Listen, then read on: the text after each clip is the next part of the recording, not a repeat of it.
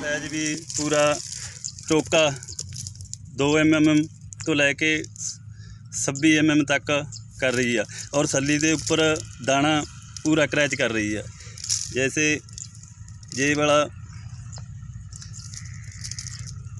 जो जानवर खाएगा, पूरा आराम से परसित कर पाएगा।